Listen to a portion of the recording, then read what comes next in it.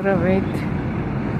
Вече трети път качвам видео с мартиници и амигуруми, разположени на една сушка. Уред за сушене на бебешки И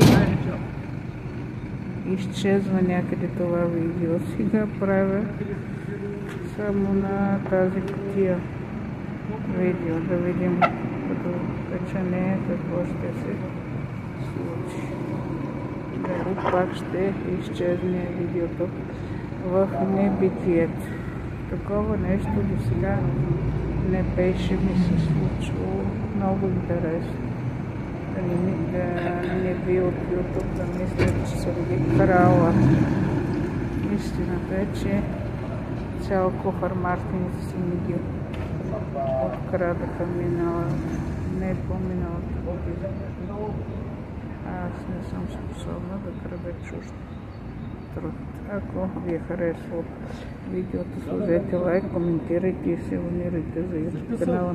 До нови срещи!